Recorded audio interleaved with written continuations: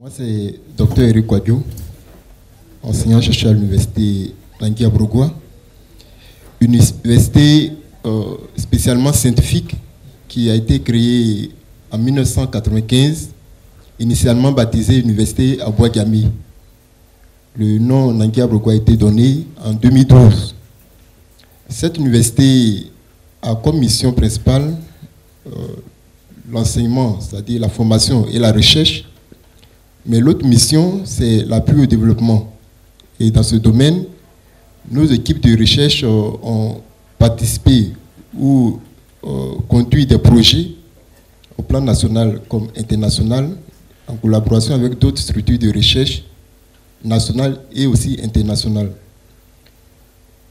L'université Nangia Bourgois dispose de quatre euh, unités de formation et de recherche et au sein desquelles se trouve l'université et l'unité de formation et de recherche des sciences de la nature. Il y a aussi sept pôles de recherche et le pôle qui s'intéresse euh, à la production du riz, c'est le pôle production végétale. Les chercheurs de ce pôle euh, ont mené des travaux de manière individuelle sur certains aspects du riz au niveau de la conservation, euh, des études entomologiques. J'ai entendu parler du riz étuvé, donc ils ont essayé de voir un peu euh, quel type de. Je dis, sous quelle forme le riz pourrait mieux résister aux attaques. Il y a quelques travaux aussi sur les problèmes de stress hydrique.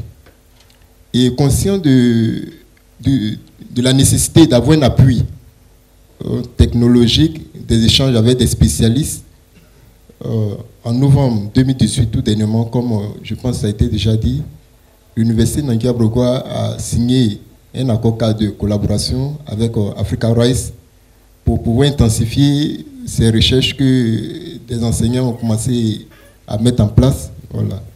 En ce qui concerne les perspectives de recherche, je pense que, comme je le disais, nous avons commencé. Je suis très réjoui de savoir qu'il euh, y a des financements qui vont permettre de pouvoir produire, mais au niveau de l'université, nous nous intéressons plus à la conservation. Parce que les observations faites sur le marché montrent que souvent des, le riz stocké est attaqué et on ne sait pas les sources d'infestation. Donc il faut pouvoir, avec euh, toutes ces structures de production, maîtriser tout ce qui concerne les infestations et puis les attaques aussi de champignons en conservation. Donc, nos équipes sont en train de faire des prospections à, à cela.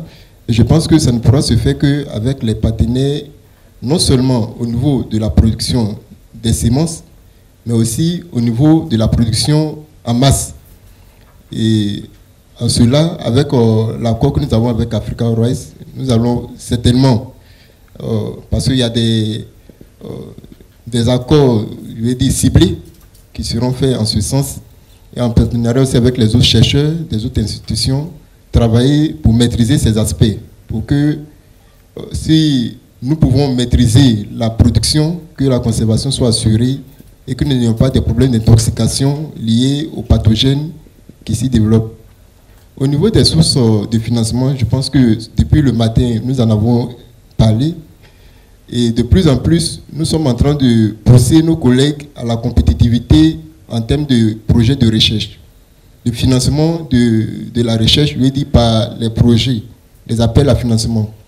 Donc, euh, je pense que la stratégie avait déjà été brossée, c'est de euh, essayer de postuler pour des financements de recherche. Et lorsque nous avons ces financements, parmi les partenaires pour l'exécution, nous pourrons évidemment associer Africa Rice et puis d'autres euh, structures de recherche parce que depuis un certain moment, nous essayons d'impliquer nos autres collègues du CNRA et même de l'université de Cocody, de l'INP, dans ces genres de recherche au plan global. Donc je pense que ça peut être une voie pour ne pas toujours compter sur des personnes qui vont venir directement donner de l'argent, ou bien sur notre ministère même qui aussi a besoin Merci.